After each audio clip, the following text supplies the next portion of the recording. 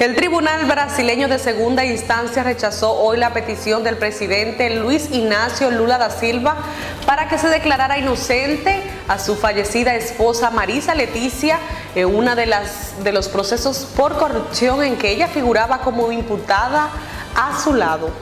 Continúe con nosotros y espere nuestro próximo avance informativo. Aquí TV presentó un boletín informativo.